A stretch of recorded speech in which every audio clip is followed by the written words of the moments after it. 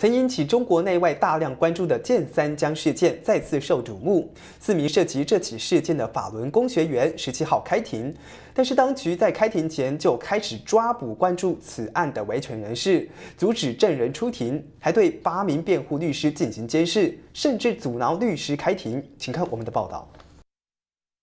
十七号早上，很多大陆网友在社交媒体上转发了关于建三江事件的最新消息。消息称，庭审在上午九点举行，法庭所在的前进农场进出通道已经有大批特警把持，多位想前往旁听的人士、证人被非法限制人身自由。王宇、林奇磊等五位律师乘车赶往法庭时被警察拦截。去那个前进法庭去开庭，然后我们被他们设的那个关卡给扣住了，把我身份证扣下了，又把司机给扣了，然后把车也给扣了。呃，让我们在他那个设那关卡站，先是在里边等，然后后来把我们撵出来。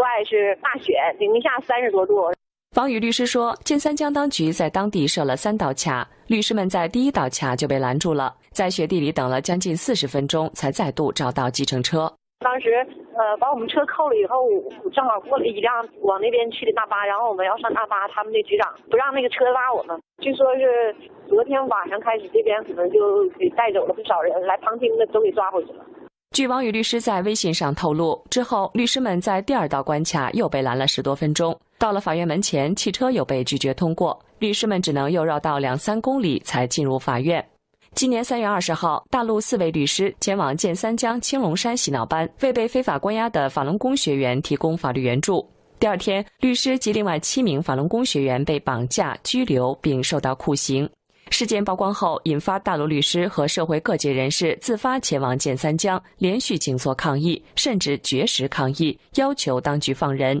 成为引起世界关注的建三江事件。新唐人记者田静、建明采访报道。